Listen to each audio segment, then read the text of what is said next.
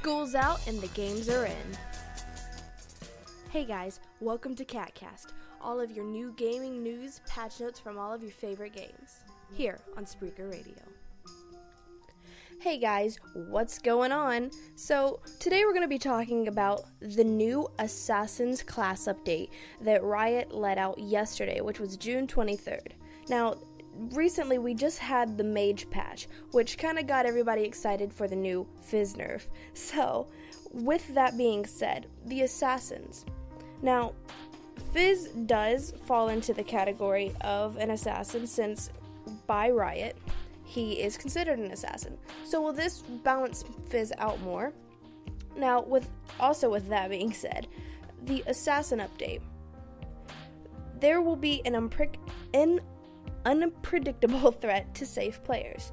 Now, that's what Riot said, that's what Static said from Riot on the forum on the League of Legends boards.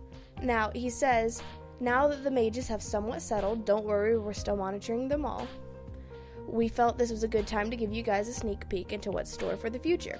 Now, earlier this year, around the time of April, Riot also put out that in the November time there will be a class update. Now, everyone had their hopes up for the Assassins, and that wish came true uh, yesterday. So, then they start talking about the Assassins. Now, they're talking about how the Assassins are an extremely exciting champion archetype to both watch and play.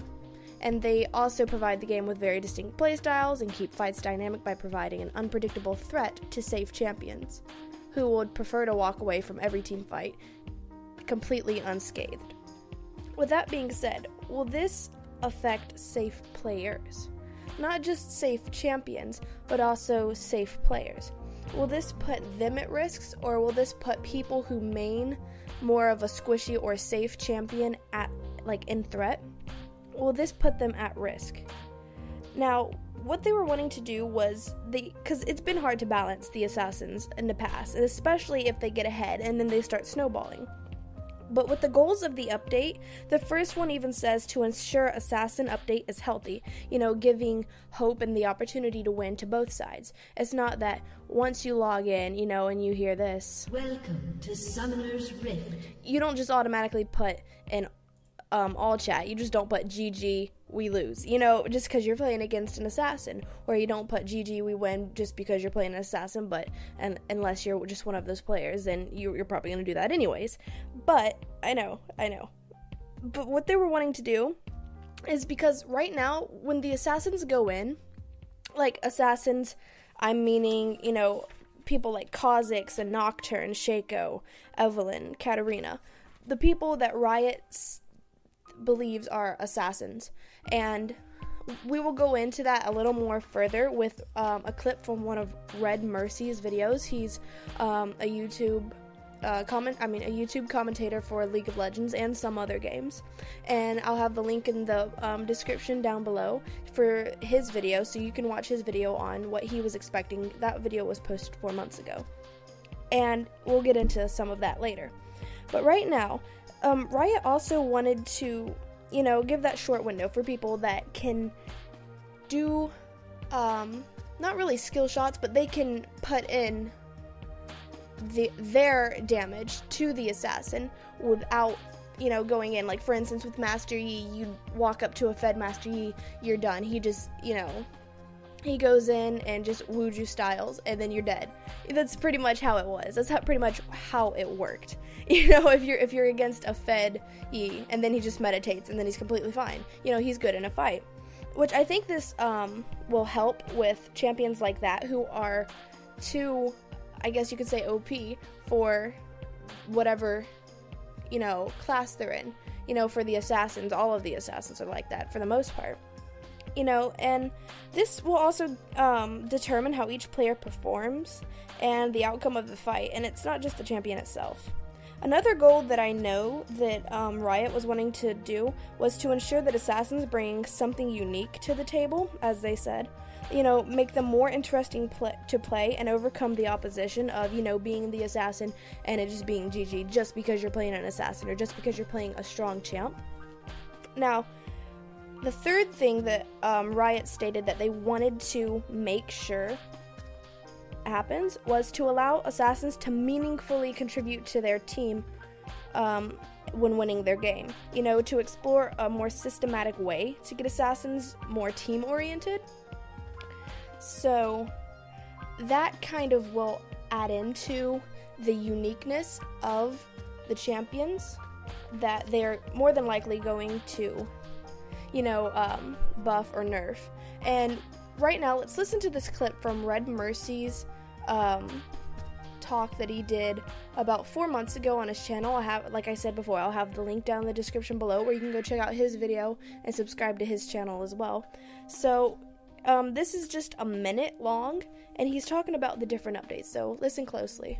So with all that said, the question of this video is going to be, which assassin champions do you think deserve the biggest changes or the biggest rework? And if you end up enjoying this video, make sure to hit that like button. So historically, when Riot would do these big reworks to a group of champions, they would always have a handful of major reworks or champions that would receive a major change, followed by a handful of champions that would receive smaller changes. Nothing absolutely massive, but enough to still warrant them to be considered a change. First and foremost, let's look at all of the champions that Riot has has listed as assassins. These are the champions that will most likely be looked at. And this will include champions such as Kha'Zix, LeBlanc, Master Yi, Ekko, Nidalee, Nocturne, Rengar, Shaco, Kassadin, Talon, Zed, Akali, Evelynn, Fizz, and Katarina. All of these champions are the ones that are classified as an assassin by Riot. Now this also begs the question, will they also include champions that have the secondary role of assassin? So for instance, someone like Diana or maybe even Yasuo. But for the sake of this video, we'll pretend that Riot will not include them. So So then he goes on later in the video um, to talk about who he thinks will have, um, you know, unique um, or more of a buff and will help them. Um, he goes on to talk about Rengar, that he's either just going to be a one shot or he's just going to be completely useless. Because with the linear playstyle, you pretty much, you know, ult jump and then just full combo and hope for the best. That's what it's going to be like, especially after the um, new updates and everything, to hopefully get that um, that extra oomph, I guess you could say. And then he starts talking about um, Kassadin, how he's almost 100% sure that his kit um, will get some reworks because some of his um, his kit is very outdated. That's the same thing that happened with Talon. I don't, or not Talon. Who am I talking about? Taric. Sorry, I had Talon in my mind from the um, list before. But with Taric, like I remember for the longest time, I had not seen a Taric for at least a year. You know, like legitimately I had not seen a Taric in any league game for almost a solid year. I, I can like maybe once or twice. That's about it. And then you have those champions, you know, like Lucian and you know Jinx, um, not well, Gnar has kind of lost his way a little bit, in my opinion. I haven't seen much of him being played, and when he is, it's not exactly the best Gnars that I've seen lately. Um, but that is for you know lower elos that I am speaking for. So in higher elos, it may be a different story, especially for all of these champions. But back to Kassadin. Um, Kassadin's passive, you know, um, takes 15 reduced magic damage, and you know it, it that can help and but a lot of the champions now are not as busty as they were before and then going on like onto the different abilities of Kassadin, you know, his Q has, you know, it, it's like an orb and you um it's a void energy is what it's called and it deals damage um to the enemy. And then all of that, you know, forms around him and kind of gives like a temporary shield. Um, that is also really good. I, I mean, for the champion that he is and for right now, that's fine, but his kit is pretty much outdated. And then his W is also a passive ability. He um, basically his basic attacks deal bonus uh, magic damage, and then when it is activated, or well, when it is active, I guess you could say, his next basic attack deals significant bonus damage and restores mana. And then stuff like that. It, it's nice to have, but it is a little outdated, especially for the new kits that are coming out for other champions, such as, you know, Evelynn. I like that he mentioned Evelynn before. Now, Evelynn, I main Evelynn, and some of her abilities do a lot of damage, but they could do a lot more than I think that they should based on her kit. So, hopefully, we'll see what Riot has in store for us, and I want your comments down below, and I'll see you guys on the next podcast. So, bye. Hey guys, welcome to CatCast, all of your new gaming news, patch notes from all of your favorite games, here on Spreaker Radio.